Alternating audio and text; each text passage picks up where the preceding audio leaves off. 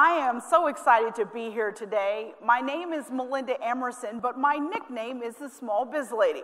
I'm considered one of America's top small business experts because my mission is to end small business failure. And I'm so excited to be here with you all today because what we're going to talk about is the top thing you need to be considering to move your business forward with your marketing in 2017. Is there anybody interested in that? Okay, then I must be in the right place. I flew all the way from Philadelphia to give you this news, so I'm glad to know that I'm in the right place. So, as we start thinking about marketing, what is the number one thing that comes to your mind? I tell you, the thing that comes to my mind is God, everybody's tweeting and blogging, and, and it's becoming more and more difficult to be noticed online, is it not? And the thing about it is, is the other thing that's going on is there's a new platform every five minutes. How many of you guys are trying to figure out how to use Snapchat for your business? Okay, well, I'm going to talk to you all a little bit about why that may or not may not be a good thing for your business at this time. You know, when we first started this journey in business where social media became the hot thing about 2008, 2009, everybody was about likes and friends and followers. Well, nowadays, it's about click throughs, it's about open rates, it's really about engagement. So, what I want to talk to you about this afternoon is what I'm going to call my 10 R's to build a revenue revolution in your business in 2017. Does that sound good? All right, so here's the first R that I want to give you Review your Google Analytics. It's free. We all have it on our websites, and if you don't, you really should. But that's where, if you want to start building a new marketing plan for your business in 2017, you got to start with what you already know. So, what do we want to look at our Google Analytics for? Well, number one, where is your best referral traffic coming from? Because that's going to tell you what social media sites you probably really should be investing your time in. The second thing you want to know is what keywords are you already ranking for? You want to look at your bounce rate, and that's the amount of time people spend on your website. You just want to look at what's going on up under the hood of your website. And that's a great place to start. The second thing you want to do, and this is your second R, I want you to reinvent your website experience. We all know that our website is our number one sales tool, yes?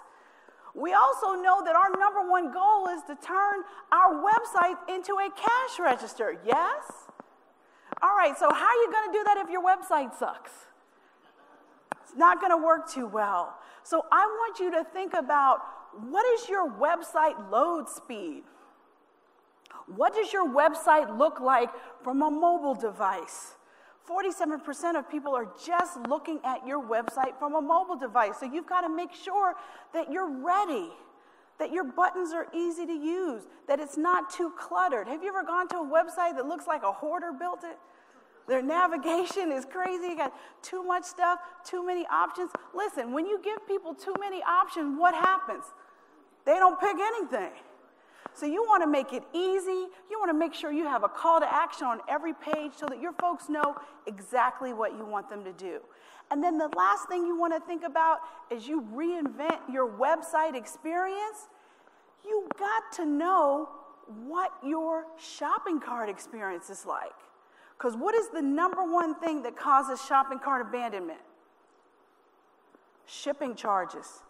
How many of you guys knew that? Free shipping is actually the way to go. So, how do you do that? Well, you raise the price slightly of your product so you can make shipping free, right? It's, it's a game, but you really have to think about people really get turned off to the cost of shipping. So you've got to think about that, and you should have someone go through your experience. How many of you only offer one way for people to pay? Some people don't like PayPal, some people don't like it. You know, make sure you have two or three options for people to pay you on your website. And that is how you're going to make sure that you've got a great website experience. But the other thing is, What's your content look like on your website? Is it easy to find? Is it organized well? Is it easy to search? That's another thing you've got to think about with your website experience. Now, the other thing you might want to think about as well as you need to reassess your market. A lot of things have changed in the last year, and you not only want to look at what's going on in your industry, is there any technology that's changing your industry? You also want to look at how your customers are using social media because they might have migrated from the thing that you first, depending on how long you've been in business, you might have found them on Facebook. Now they're hanging out on Instagram, right? You need to just make sure that you're checking in on how your customers are using social media. Because again, it's going to determine where you need to invest your time and your money. And then you want to reevaluate your keywords and hashtags. Depending on your industry, your keywords could be changing every four to six weeks in your industry. The other thing you've got to realize is that hashtags are extremely important, especially if you're using Snapchat and Instagram. For my business, the number one hashtag that we use is small biz chat. And we've actually gone to the, to the effort of trademarking it. Small Biz Chat is actually a weekly chat that I do live every week on Twitter where I answer people's small business questions. And I've been doing it for seven and a half years. And what we realized was a lot of people were bootlegging our hashtags. So we went and trademarked it so that we would have more control because we consider it a brand like anything else in our business. You need to figure out what the hashtags are so that you can get engaged and involved in the conversations that are taking part in your industry. If you are using Instagram, hashtags are the only way people are going to find you. So you want to make sure that you know not only what the latest keywords are for your industry, what your key hashtags are, but you also want to pick your focus keyword. And that's going to be the keyword you want to be known for on the internet. It's the one you're going to spend your money to use in SEO. These are the things that you want to figure out. And depending on your industry, these things could really be changing. Now, the fifth R I want to give you is retreat from social media. Now, I realize that's going to sound like crazy talk to some of you, but listen to me. You really only need to be using one or two social media sites in order to build a major brand. How many of you are out here killing yourself doing Facebook, you know, LinkedIn, Google Plus, Snapchat? How many of you guys are out here doing that? Please stop. Stop the insanity. I want you to figure out where your fish are online, and I want you to spend the time building those relationships there just because something else is new doesn't mean you need to be doing it. It's really all about where you are engaging your fans.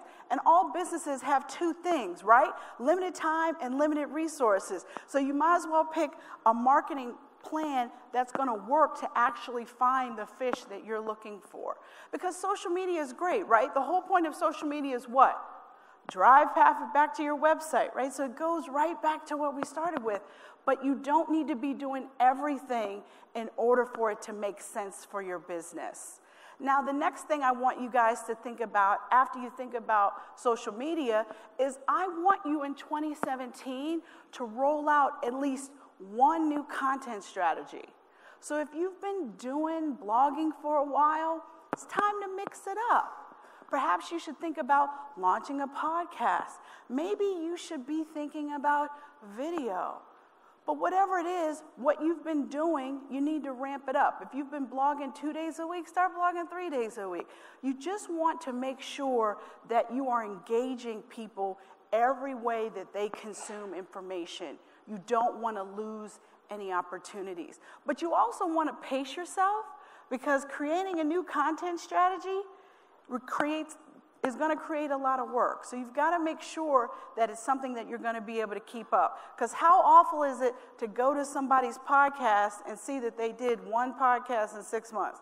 That's a waste of time, that's not going to help you market anything. So, you want to make sure that you really think through your new content strategy. But here's the thing I want to tell you about content long form content is king. And when I say long form com- content, I'm talking about blog posts that are 2,000 words or more, blog posts that have lots of pictures and interactive content in them. You don't want to just, you know, that 600 or 700 word blog post, that's not going to get it anymore. It's really about your long form content and the different types of content that's really going to make all the difference. The next thing I want you to think about is a recency strategy. And recency is about once someone does business with you, you need to survey them. They should hear from you within seven to 10 days of doing business with you. And what should you ask them? Number one, did you like your product or service? And oh, by the way, if you liked it, would you consider giving us a review or recommendation? And when you do that, the link to give you that review on Yelp or the link to give you that recommendation on LinkedIn should be embedded right there in that email. Make it easy for them. Don't make it go, don't make them go look for it. Right? How many of you the last time you stayed in a hotel within a week got an email, "Hey, would you mind giving us a review on TripAdvisor?" Yeah, you want to be doing the same kinds of marketing for your own business. And we call that a recency strategy. Now, the next thing that I want you all to think about is retargeting is the new paid search. Nobody wants to be sold to. We know that 70, 80% of web users ignore Google ads. When you go search for something, do you click on the top three ads? I don't, and most people don't. So you want to figure out if someone has come and checked out something on your website, retargeting gives you the ability to go find these people the rest of the places they go on online. And retargeting is showing a six times higher conversion rate than regular banner ads and you know regular paid search so what is retargeting well retargeting works two ways you can do it uh, through google adwords or you can do it through facebook ads but it really involves having a pixel of people who visited your website or it involves you dumping your email list into their program and then targeting people who are already on your email list who already are familiar with your brand this is the new paid search, and it really is converting. And if you're thinking about where you should be spending your money on paid search online in 2017, retargeting, retargeting, retargeting. Now, I told you that at the very beginning of this talk that there was one thing that you should be thinking about more than anything else if you want to build better relationships with your customers going into 2017, and that's video. You need to re engage with customers using video. You know, Facebook Live has unleashed the quick and dirty video revolution. Have you guys seen people that you've never even thought of on Facebook telling you in the car where they're on their way going, where they're doing? Well, if you got intentional about selling something to someone and building that one on one engagement, there is no better way to build a connection with a prospective or existing customer than video. And there's lots of ways to do it. You've got platforms all over the place from you know google hangout certainly started it. You've got skype you've got um, you know periscope blab facebook live. I mean there's lots of platforms. Certainly there's tons of people who have created branded youtube channels. But here's the thing i want you to think about with your branded youtube channel. Who owns that subscriber list? You own it or do they own it so you want to think about how you can control video in a different way so that you can use it to build your list, so that you can use it to sell, you can use it to communicate, you can use it to even do your customer service. And I want to have you think about one more statistic that I just heard the other day that shocked me, and it'll probably shock you. By 2020, 85% of all of our sales and customer communication will be done via social media or video.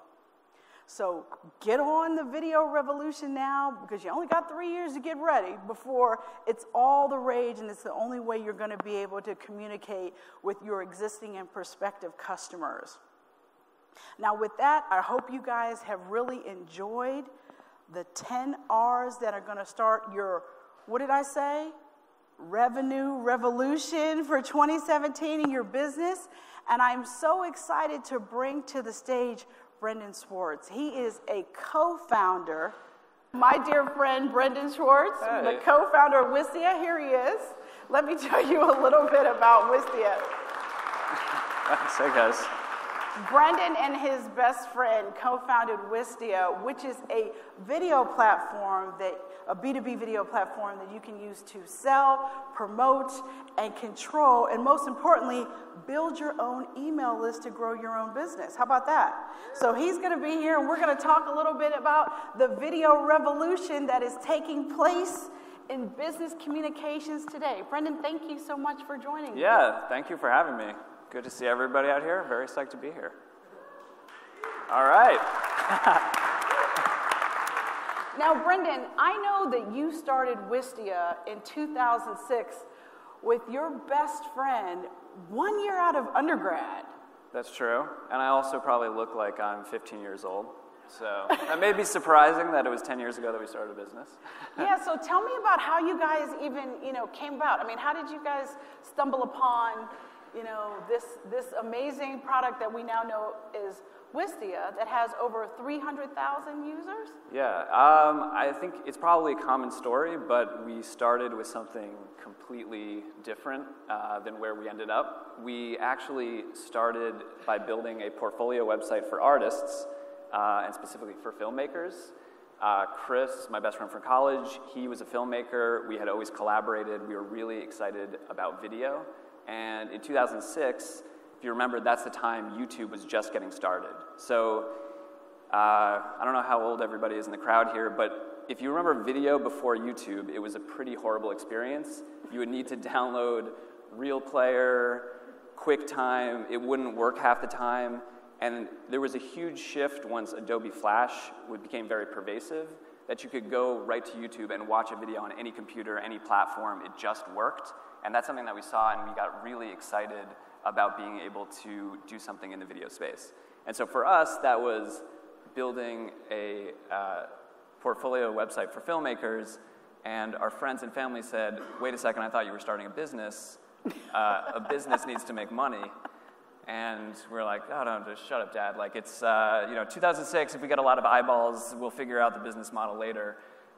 Uh, about maybe six months into that, we were bootstrapped, we were running out of money. We really enjoyed working on it, um, and we were trying to figure out how to make a go of it. And it was around that same time that uh, a good friend of ours was saying, Hey, I know you guys have built all this video technology. Um, I have a problem in my company. I'm, I work at a medical device company, and we record all this video, and we need to share it with the clinical sites and with our headquarters in Watertown, Massachusetts. And so they were sending, again, this is a long time ago, they're FedExing DVDs all over the country. And they have a site in Chile, and it takes two days to, to send something to Watertown, Mass. There's not anything overnight. So he said, Can you please help me with this? And we're like, No, man, we're for artists. Like, we're not going to sell out. We can't build something for businesses. And um, eventually we got we started talking to other people who were in our network and we got the light bulb kind of went on when we saw the same problem in the film industry where you need to do reviews and approvals. So there was a use case for private video sharing um, and for training and for, for sales. And so we were always attracted to building something that was uh, kind of a broad and useful product around video. And so we set, finally agreed to sell out and uh, said, what the heck? And we went in to meet with this company, and then we, we signed them on as uh, the first paying customer. And that was a really big shift for us because we went from this mode of if you build it, they will come to we can build valuable software if we get in front of people, we can show them that. Um, and, and that's kind of that's how we started. Awesome. So, I, you know, one of the things that I advise people all the time is don't hire somebody you can't fire, right? and you started a business 10 years ago with your best friend. So how, how does that work? Like who, who does what in the business? How did you guys not like duke it out and kill each other? Like what, you know, tell us how that has worked for you. Yeah, that's. I feel very fortunate that we are still best friends. We spend an unreasonable amount of time together. We live together. While we were starting the business, we lived together. Uh, we still live about two blocks away from each other and walk to work every day. It's very, it's very cute. Um, uh, I, I guess we always approached it um, even whether we, we knew it at the beginning or not, that it was, this is going to sound like a cliche, but it is very true, that it was uh, friendship first and business second, which I feel like you get a lot of the opposite advice. You know, this is a business, feelings don't matter, friendship doesn't matter. And I would say that was, and that still is, you know, it takes a lot of work. Even though we're really good friends, we tend to agree on almost everything. There are times when we disagree. Um, but it matters so much to actually fix everything and to, to work on it. I mean, people say starting a business is uh, like being married, right? It, it sure enough is. it, it, yeah, it takes work. It's not always easy. Um, and I think for us, the friendship first piece has been what has kept it kept it together. Well, that's great. Well, I know that you have a particular mission. You believe that video is the way to make a human connection. And I know that's been very important to you as you've built up your business. Um, tell me how you incorporate that with, you know, you guys are growing pretty exponentially at this point. How have you kept that, that human element in your business? Yeah, that's something, well, I feel like uh, we were talking earlier about mistakes that we've made over the years. And one that we were fortunate to learn pretty early on is that uh, and I think it's a pretty common one, is when we were smaller and we were this ragtag group in a, uh, a, a office above a paint or picture framing store in the middle of nowhere in Massachusetts, we were pretty afraid to actually, you know, say we're just four people. Uh, you know, here's what we're doing. We're making this software product, and so we tried to pretend to be something that we weren't. You know, we had the fancy bio on the website where it says Brendan Schwartz, co founder and CTO, uh, graduate of Brown University with a fancy degree in engineering and 15 years experience, which was probably made up because if you counted all, you know, experience making websites in middle school, you would put that on there. um, and we thought we were doing the right thing by, by trying to project what we wanted to be, but the odd thing is that wasn't, if you had ever talked to any of us in person, we would never say something like that. Um, and it was maybe a year or so after that, uh, another person who worked at Wistia, it was his birthday, and as kind of as a joke, uh, we took the team page, which is this extremely boring bios of people with no pictures, no nothing, just a wall of text, and turned it into, it was a photo of everybody who worked in the company, and if you typed dance on your keyboard, it would play a girl talk song, and there would be uh, strobe lights, and then our pictures would animate and dance in a very awkward way. And he really enjoyed it. And then we shared it to a few friends on the internet, um, and it ended up getting spread pretty widely. And it was this really, like, it was a really nice moment for us where we, this was us being ourselves, and it actually had a very positive effect for the business. And there's just been a lot of moments like that where every time, and we still make these mistakes where we try to pretend that we're something that we're not, but I think when we can remember to do that, and that's a big part of why our mission is to make business more human, that people eh, build relationships with humans. And humans don't uh, always do everything perfectly. You know, they're not like eh, people are. This is going to sound kind of. This is where I get kind of corny and stuff. But no, but people are vulnerable. People make mistakes, and when you can admit that, there are chances to build trust. And video is a really emotive medium, like you were saying. Sure. Short and being, from being in the same room as somebody, it's the best way to express yourself. And um, it, it has been really nice to see business success from being ourselves and to help other people do, do that as well. Now, I have to tell you, as a former television producer, my first life before I became an entrepreneur 17 years ago, I have a bugaboo about user generated content, about, you know, folks whipping their Facebook, you know, kind of their phone out and being like, hey, I'm walking down the street and this is what I'm doing. Like, that personally makes me crazy. But I want to know, as, as, as the founder of a company that helps people promote their videos to promote their business, what is your thought about professional video versus user generated? I'm just whipping my phone out. I don't know what the lighting's like. I'm just bouncing around. I'm recording my footage. What, you know, where, where are you on the meter of what works and what doesn't? Yeah, I think that's a really good question, and we've seen in the past 10 years, um, people have been really focused on making very professional content, and specifically for marketing content, because you have, like you were talking about, a beautiful web page that you've worked hard to design, it works well on mobile, uh, and you are going to put a video on there. It has to look as good as the rest of your website. So we spent a lot of time teaching and helping people to make more professional looking videos so it fits in with the rest of your brand. But I think that's not the whole story, and that we're seeing some really interesting cases where using something that perhaps isn't as highly produced, where it's not well lit necessarily, it's not scripted, um, these more authentic moments, that those actually have a place in business too. And I think you were, you were touching on some of this, but what we're seeing from where we are, I think we'll see in 2017 a huge shift towards people using what we've been calling one to one and authentic videos in business. And we see a ton of companies doing this already uh, really successfully, which is imagine uh, we do a sales call, and then I send you a follow up video it probably shouldn't be really heavily produced because you're going to think, what something's up with this. It's right. it's a trick. If it's more something that looks like I could have sent you on Snapchat or something that is familiar, or I said, hey, it's Brendan. I just wanted to put a face to the name. It's really great to talk to you.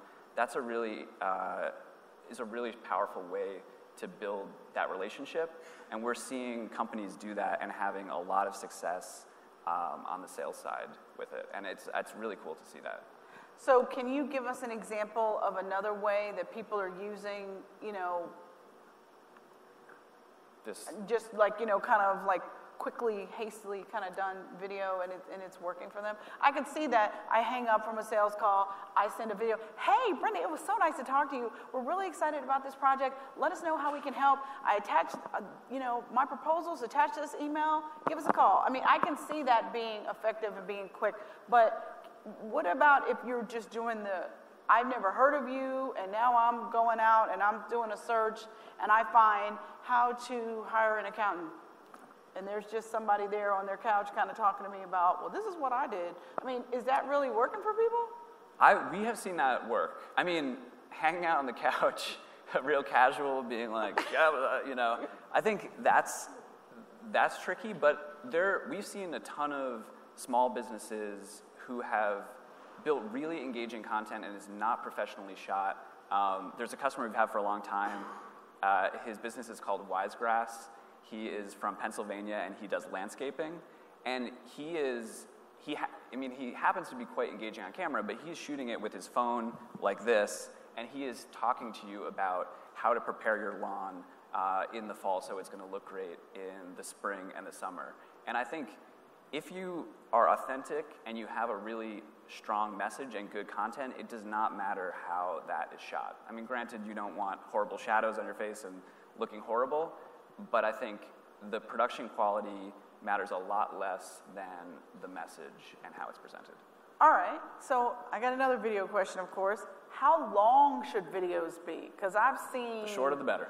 yeah, yeah. I, I tell people two minutes or less, but I was curious as to what you thought. Because I'm always curious when, you know, major corporations sell us stuff in 30 seconds, why people think they need five minutes to teach you something. Yeah, it, I think that's also a reason why it's really important to track that. Um, and so with Wistia, or with other platforms, you can get what's called an engagement graph or survival curve, and you can see as someone's watching your video, where do they drop off? So if I have a five minute video and 25% of the people are there, are left at minute four, I probably, they're not going to hear whatever that message is. Sure. And it's interesting, we've also done um, a bunch of, because we have so much data on this, we've looked across all the videos on our platform and done some testing and have, fa- have, found scientifically that shorter videos, a, a, shorter video, say you have a one minute video and a two minute video uh, of roughly the same content, there will be more people getting to the end of that minute video than getting to the minute mark of the two minute video. So almost just for the fact that it's longer, and you, you can kind of you know, intuitively look at that as we watch videos. If it's a little bit boring and there's a lot left, right, you probably leave that shows up in the statistics and the numbers. So the shorter the better, for sure. Now, what about graphic inserts in videos or offers inside videos? Are you starting to see people do uh, almost like in app offers in videos where they're actually converting? Yeah, I think that can be pretty powerful. And again, I would just say the measurement of that is key because sometimes, especially when you're starting out, it's hard to know. Um, what we've seen be effective is again using uh, that engagement graph, and you'll see sometimes there'll be a section of your video that people will be rewatching, perhaps. So maybe uh, you're showing off a software product, and people are rewatching one section. That could be a chance to add something, maybe a link out to explain that further, or to re-edit the video to make that part longer. Um, but certainly, I think it comes down to to measure and iterate when it comes to call to actions inside a video. But, mm-hmm. but they are very effective. Now, call to actions at the end, call to actions in the middle. Where, do you, where, do you, where do you put your call to action? That is also a great tell question. Tell us, oh wise one, tell us. We have, I mean, also, I should say, if you are interested in this, uh, on our, we publish a lot of content on our blog about this that goes more in depth through the numbers. So if you are making video and you're thinking about putting calls to action in and want to know exactly how that breaks down, I guess what I'm saying is that will be better than my, than my memory right now. Um, but I think it really depends on the content so, and, and the tone that you're trying to do. We do a lot of things where we put a call to action at the end that says, if you enjoyed this video and you would like to know more, to sign up for our newsletter, please fill out your email. That's a lot different than something at the start that says, please put in your email to watch this video. Of course, the latter one will perform better. Um, and we've also seen the best performing ones are where you have a little bit of content, like a teaser bit, and then you throw up an email gate and say, hey, to watch the rest of this, you know, we'd really appreciate that you put in your email address. Those perform the best. But again, oh, it, it comes down to I think your brand and, and what, you know, obviously if you just gate all your content, probably people will irritate will, people. Yes, exactly. Right. Yeah. But but the teaser content and throwing up a little, hey, if you like this, give me your email. Yeah, that has been we've seen that be really effective. And if you start doing that, and then you can produce your videos in such a way that it lends itself to doing that. It's really powerful. right. You do have to be intentional about it. You don't want to do after just in the, the middle fact, of a word. After yeah. the fact, just try to chop it. Now, I want to talk to you a little bit more about your business. And I know that um, at, at, a certain point in your business, you guys did end up taking uh, some venture capital funding. And I wanted to know about, you know, sort of like how you made that decision and, you know, would you, would you make that decision again? You know, kind of like just talking about when you're ready to grow your business and you realize that you need more funding. How do you how did you guys like kind of go about doing that and even, you know, where did you even find the person that ended up, you know, giving you some money? Yeah, we, um, so it was, it was just Chris and I in our, or in my bedroom in our 10 person house. We had gotten to the point where we were barely profitable. Um, we were paying our rent, we were, you know, we were surviving, but we were not, the business was not growing really quickly. And so that was an interesting moment where we were like, okay, we exist, we're not going away. Um, and we had met some other people, um, somebody who was in sales, uh, who was much older and, and wiser than us, uh, someone else who was kind of a jack of all trades, uh, who's really good at engineering, and these were people that we were really excited to bring onto the business, uh, and we thought we could grow a lot faster if we had them. However, they had families, they needed to make money, unlike us, who were 23 at the time, and that's when we started thinking about raising money for our business to be able to bring them on and to grow more quickly. And uh, it's hard to even remember all the what went into that. I remember being on the whiteboard and trying to sketch out all the different trajectories of the business. Um, but I would say we got we, we ended up raising angel money from angel investors. Okay. Um, and we raised two rounds of angel money we still maintain, Chris and I maintain control of the business um, along with everybody who works inside the business.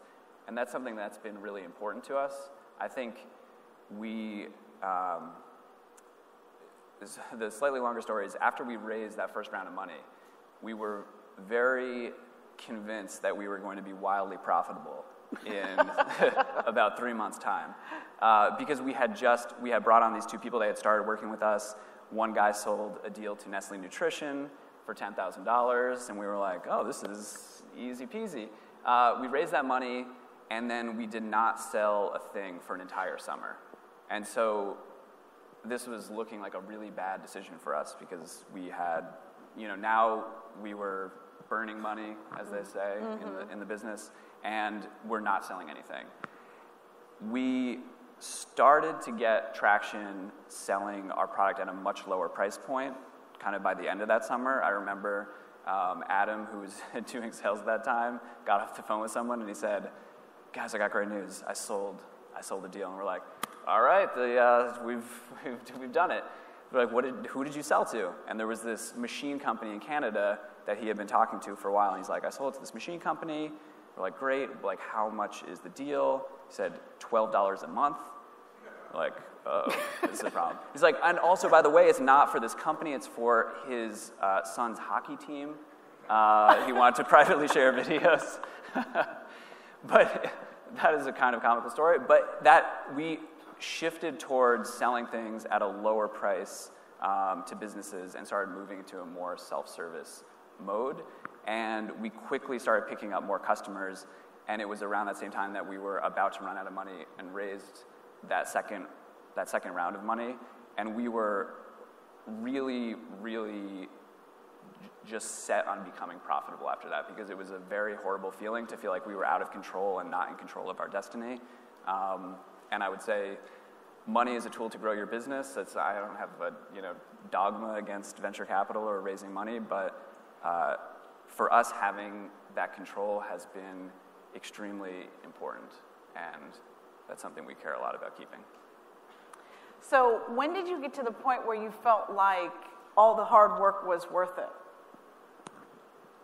I guess it. I don't. It, this is a cheesy answer. It always felt like that. I think that, um, like I said, when we were building the filmmaking site, uh, and we had no prospects and no making no money whatsoever the thing that we were excited about was it was fun to work on this. It was fun to solve these hard problems.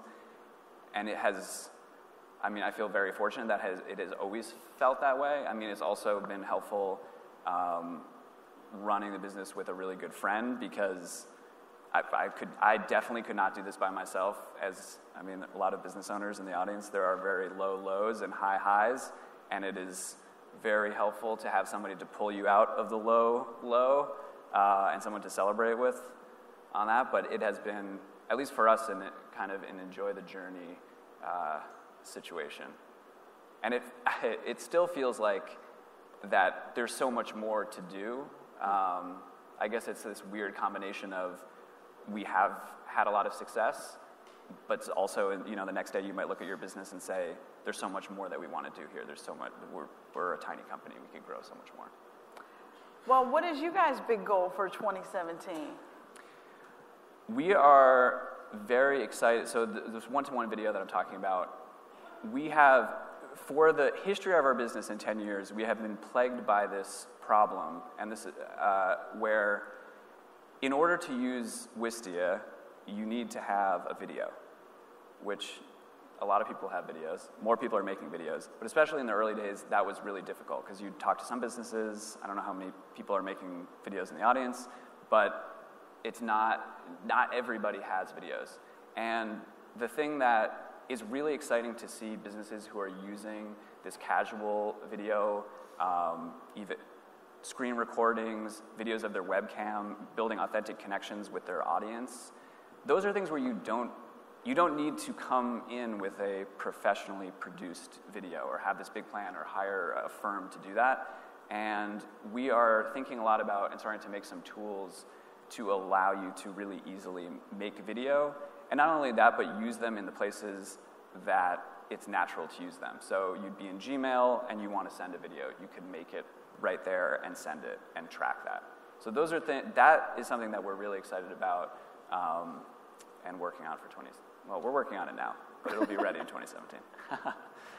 All right, so I would be remiss if I didn't ask you about what do you thought the top three trends are going to be for 2017 in terms of marketing. In terms of marketing, I'm so I'm sorry, I'm so focused on video. I ha- I mean, that's obviously very biased, but I think we will see, uh, and I said it already, but the one-to-one authentic videos, I think you're going to start seeing a lot more of those in your inbox I think anybody here should start exploring that and thinking about how you can use that to make better relationships with your customers or with prospects. I think that is going to be a very big trend. I think the other thing that we're starting to see is, and this is not marketing specific, but video being used in all parts of the business. So, not just marketing, not just sales, using it in support to build stronger relationships, um, and in all kind, and in, internally to, uh, to inside your company. Um, I don't know what I don't know what the third trend is. I am I'm skeptical for uh, this is not the, uh, an anti-trend, but I think live is really exciting. I'm skeptical how useful it will be for business for the mass adoption for businesses mm. in 2017. But I think that's something to watch to keep an eye on um, and to figure out how that can be. That's something that we care a lot about. Keeping an eye on that and seeing. I feel like 2018 might be the year of live for for small businesses for for all of us to use. Oh, that's interesting. That's interesting. I would have thought that you would have said live, like the, the to me, Facebook Live has just ignited this revolution of people, even more narcissism is available to you. Um, you know, where people just letting you know their every thought and even how they're going on their way to where they're going to do their next thing. Um, so it's interesting that, that you're not sure whether or not there's a real business application for that. I think, yeah, I think business the trends that we've seen in, in business, at least for video, have followed consumer behavior and tend to lag behind them by quite a bit, just because mm-hmm. businesses are slower, slower to adopt. And I think, I think in, for good reason, want to see ROI, want to see something work, and then I think we're all really good at emulating that when we find it. Um, I think we've seen some big businesses use live really well. I think there's some uh, niche cases around product launches, of course, for internal meetings, things like that. But um, I haven't seen it yet be used tons and tons of different cases where live um, is is being used by businesses. And I think part of the reason is it's kind of scary to be on camera, if we're honest. So if you make uh, a one-to-one video to send to a prospect and I say something that is stupid, I can just delete that video and record another one. If you're doing it live, if you're doing it live, it's live. It's live. right right? We learned today that sometimes live doesn't, doesn't work so well, right? But you got to roll with the punches and, you, and you've got to be authentic. And, you know, I think the number one thing when I think about what's going to happen in the future is you still have to figure out how to be unique right? You know, no one's looking for a Me Too brand. No one's looking for information that they already know. So as there's more and more ways, more and more channels to spread your information or be what we call, you know, idea entrepreneurs, it's going to be interesting to see how people are able to, you know, get above the prey and stand out if everyone is doing it. And that's the thing that I think is going to be even interesting. But I do still feel like at the end of the day, before there was SEO, before there was YouTube, before there was any of this stuff, there was great content. And if you build a better mousetrap, the world will beat a path to your door, right? I think that's very well said. So, does anyone have any questions in the audience? We have a few more minutes. If any of you all have a question for, for Brendan or myself. Do you do anything with uh, uh, 360 video or VR? Uh, yeah, the question is do we do anything with 360 video or VR? Um, yes, that is another thing. I'm, I'm, also, I'm obviously a nerd, I'm an engineer, so that is very exciting to me. Um, I think I have been really impressed. So we launched, uh, we added 360 video to our platform at the start of this year, uh, mostly on the thesis that this is going to be a big thing. I think it is a very long-term play for us. But we thought if we could do this, if we could have businesses using this, we wanted to be there and have it in our product to help understand and teach people. And I have been really surprised to see really legitimate use cases of businesses who are using 360 video. Um, so some examples of that are a car dealerships are using that. Nobody wants to go on a car lot and have kind of the you know used car salesman experience. I've seen uh, the people who are doing that say it's been really successful for them because people can go and explore the inventory on their own without feeling like there's this sales pressure.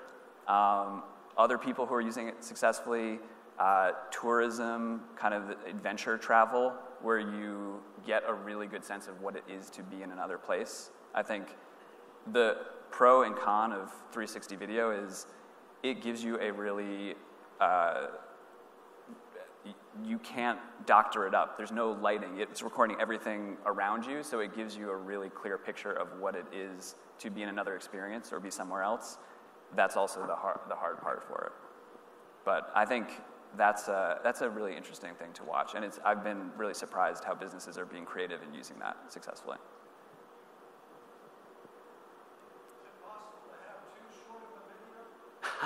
No. Yeah, I think How long? I think people are doing 10 second roll ins and roll outs of videos all the time. 10 seconds, if you got 10 seconds of information and it's powerful, it can go viral. So I, I personally don't think they're. The young lady in the gray shirt that had your hand up, stand up, please, because I can barely see you.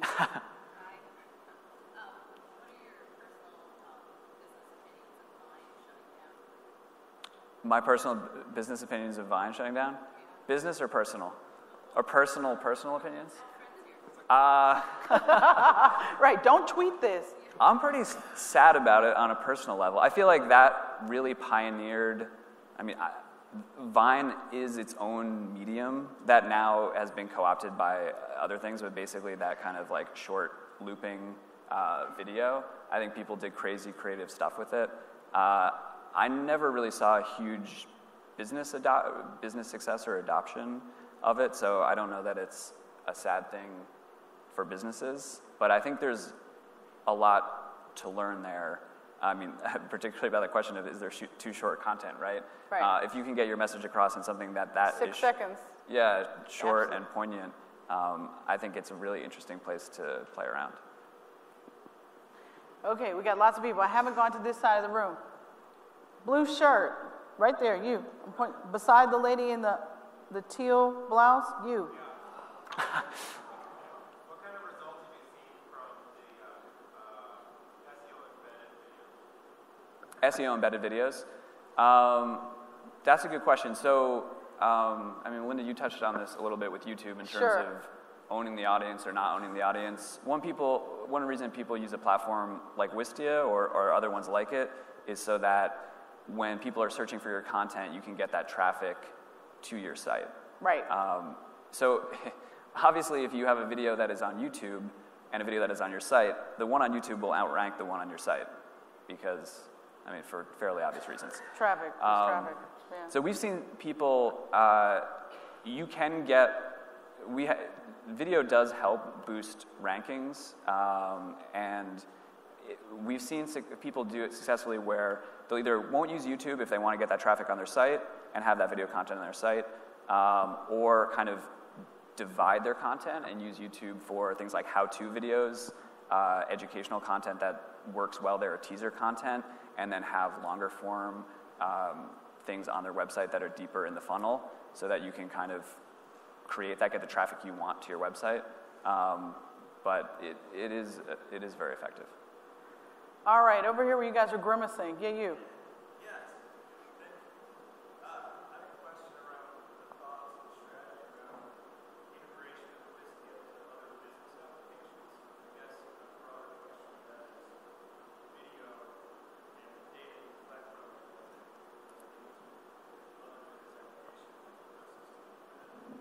So his question was, does Wistia integrate with other business applications? I'm assuming you mean like email, CRM. Is that what you're talking about? Okay. I feel like you're planted in the audience for this, this question. um, that's a big thing. That, that's something that's been really important to us, and I think is hugely powerful uh, when you can get the video viewing data in context with other business data. So we'll integrate with marketing automation providers like HubSpot, Marketo, Pardot, so that you would see who is watching your video and how much they're watching, or, so, or integration with CRM. So if you pull up um, Melinda's record in the CRM, you might see all the different videos that she watched. Now you didn't mention Infusionsoft. We do, we were talking about this this morning. All right, all right. I'll be going to on now. Infusionsoft tomorrow to talk about a deeper integration with them. But Good. we do, in the list building category, if you use Wistia to uh, use what we call Turnstile, which is an email gate, uh, we have integrations with almost everybody, including Infusionsoft, to send those emails into those providers so you can build an audience and build a list that you own. So, right. always looking for more ways to integrate. Let me know if you have more ideas. There was a question right there in the middle.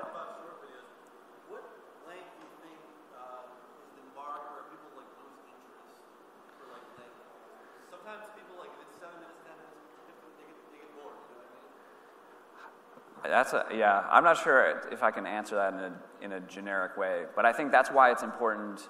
I mean, this is a cop out, I suppose, a little bit, but it's important to measure for your content because we also see plenty of content that is hour long webinars that will be 85% engagement, holding engagement because it's so targeted to that audience. So I think that's why it's so important to measure to know did you get that impedance match with the audience and the content?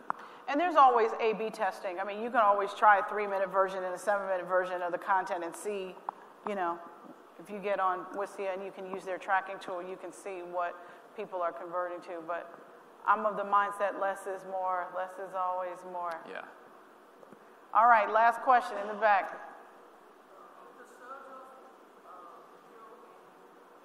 I'm having trouble hearing you. Stand up.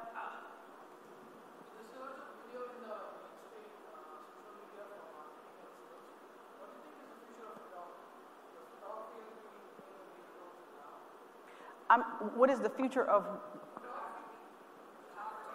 photography? Photography. In video, you mean like integrated with video? Okay. Oh, using uh, photography and, and turning it into video? Or separate? Oh, interesting. I'm not sure I know the answer to that question. Hmm, inquiring minds want to know. All right, we're going to have to put a pin in that one because I don't have an answer for you either. All right, one last question. I saw a couple hands.